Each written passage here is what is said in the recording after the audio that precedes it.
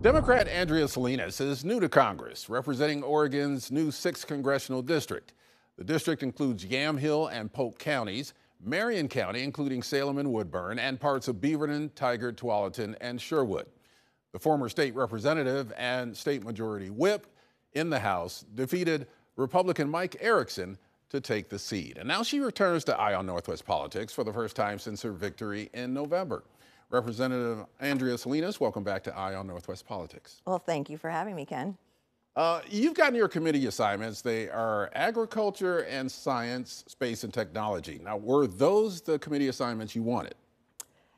Agriculture definitely um, was my first choice for a committee assignment, and then science, space, and technology was really probably my third. But um, education and labor was a committee that no freshman got. So, so yeah. So really, I did get my two top choices. So well, well let's talk about uh, those committee assignments. Uh, in terms of agriculture, how do you think you being on that committee could help us here in Oregon?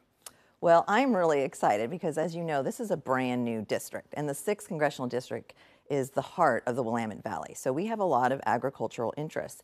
And unlike other states, we don't really have big ag, like say the Midwest does around corn or soybeans and things like that. We have a really big horticulture industry. So our nurseries, our berries, and some of these other um, farm producers have a different interest. So I think we will be able to bring a unique voice to Congress on the Farm Bill reauthorization, which is up um, this next year. So it's a bill that, you know, bipartisan work takes place and we'll be able to reauthorize, um, yeah, the, a lot of the provisions under the Farm Bill.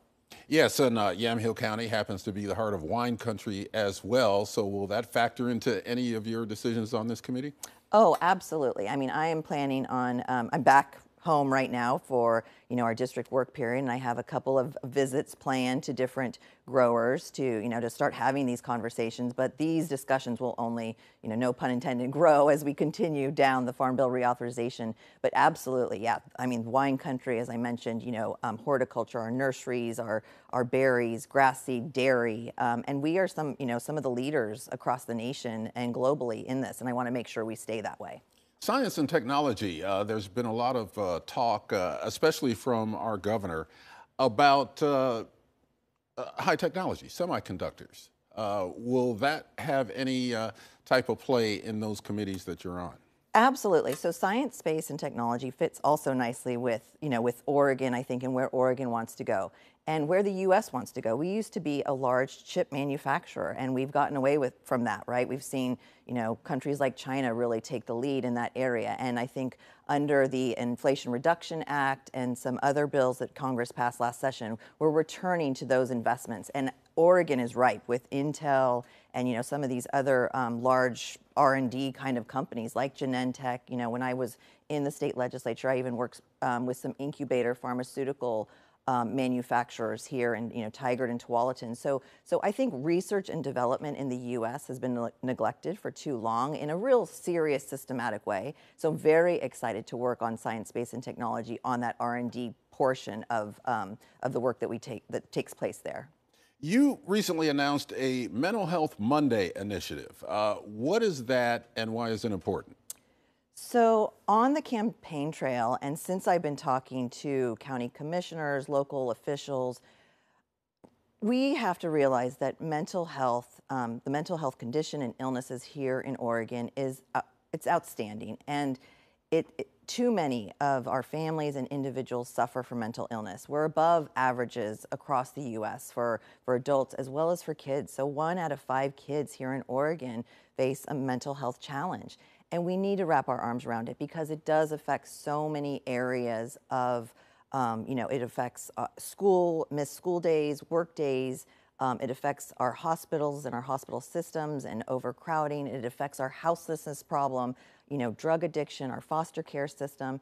And so getting our arms around prevention and the workforce, making sure that we have enough providers is going to be paramount for me because that is what I'm hearing from this sixth congressional district is that it leads to other problems in our systems and in our government. Um, and, and it's costing government a lot of money. So let's figure out how we relieve these families and individuals from suffering. Why does Oregon have uh, higher rates of, of mental health issues than other states?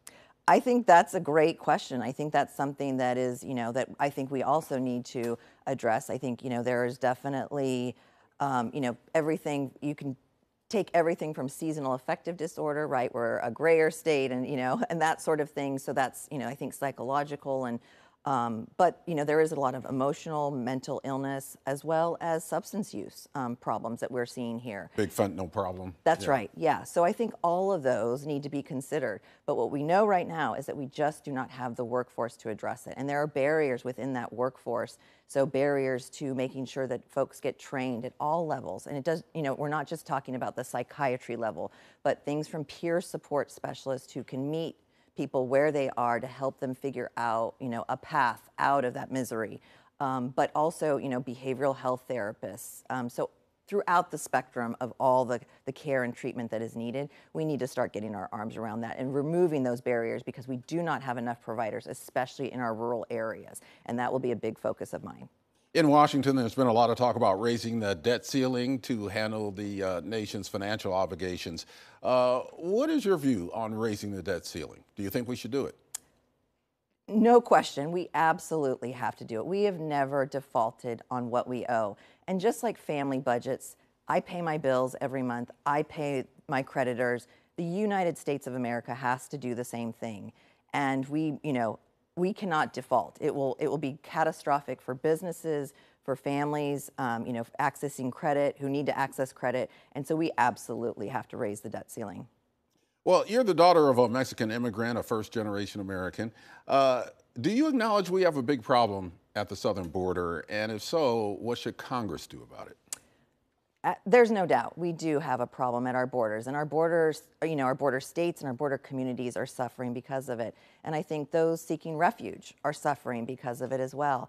And so, what I would really like to figure out, and this is a, this would require some uh, diplomatic efforts, is how, what are the the circumstances in a lot of these home countries to and to preventing people from actually staying in their home countries, right? So is it workforce? Is it human trafficking? Are they being lured to the border by by empty promises, which I do think is happening?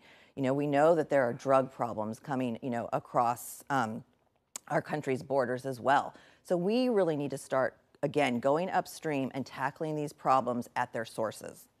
And uh, when you look at the border, is you don't view it as an either or situation, like keep everybody out or let everybody in.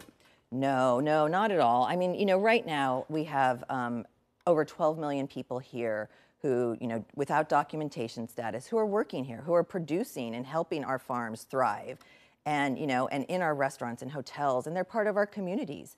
But we do have to figure out how we are not going to buckle and you know allow our, our southern border communities to buckle and, and suffer as well. So it has to be a combination of, and as always in everything in this, it has to be about balance, right? And bringing folks together who are, are calm and reason to figure out what those solutions are.